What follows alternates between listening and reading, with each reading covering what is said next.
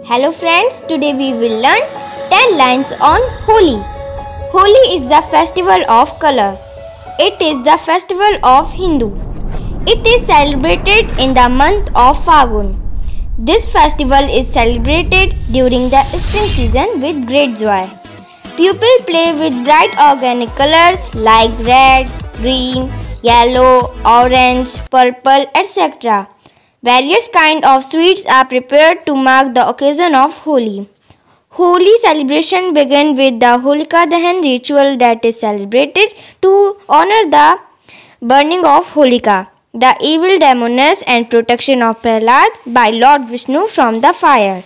Holi is the festival which reminds us of the victory of good over evil. Thank you.